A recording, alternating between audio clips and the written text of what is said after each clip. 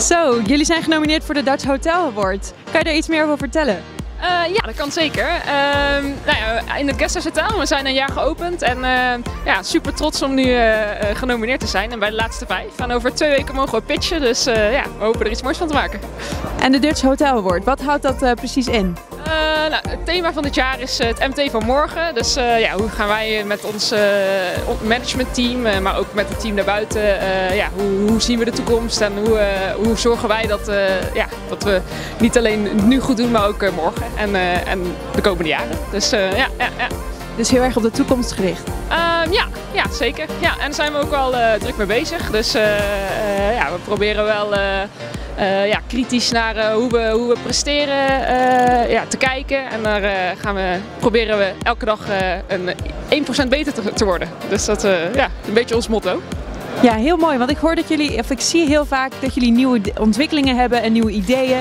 Uh, wat is uh, een van de laatste ontwikkelingen binnen jullie hotel? Uh, we gaan binnen nu en een paar, een week denk of twee weken gaan we live met CurioBot. Dus we gaan dan, buiten dat we ook met Oki natuurlijk werken en gaan we upsell bieden aan de voorkant voordat een boeking wordt gemaakt. We willen het stukje communiceren makkelijker maken.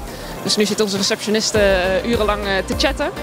Uh, en we willen een aantal van die vragen afvangen door, uh, door, een, uh, door een, ja, een nieuw soort bot in te richten. En die hebben we helemaal zelf gepersonaliseerd op onze doelgroep en op de vragen die we krijgen. Dus dat is, ja.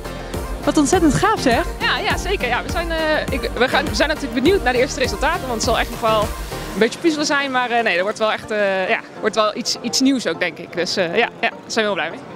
En jullie waren ook de best converting hotel van, van Oki. Wat vind je daarvan? Ja, ja, wij moeten het maar geloven. Maar uh, nee, heel gaaf. Uh, uh, voor ons, wij zijn begonnen meteen met Oki voordat we open gingen eigenlijk al. En ja, eigenlijk nooit echt spijt van gehad. En we, we, we, hebben dat ook echt wel gepersonaliseerd. Hè? Dus wij verhuren bolderkarren en versieren kamers. voor de gasten die bij ons naar de Efteling gaan. En ja, dat slaat eigenlijk wel heel goed aan. En elke maand opnieuw toch heel veel geopende e-mails en geboekte, geboekte upgrades en, en services. Dus dat is wel echt heel tof. Ja, ja, ja. Ja, want jullie hebben best wel een speciaal hotel, hè? Kun je de kijkers daar een beetje meer over vertellen? Jazeker. We hebben, uh, ja, we hebben niet echt een... Uh, we noemen onszelf niet standaard hotel.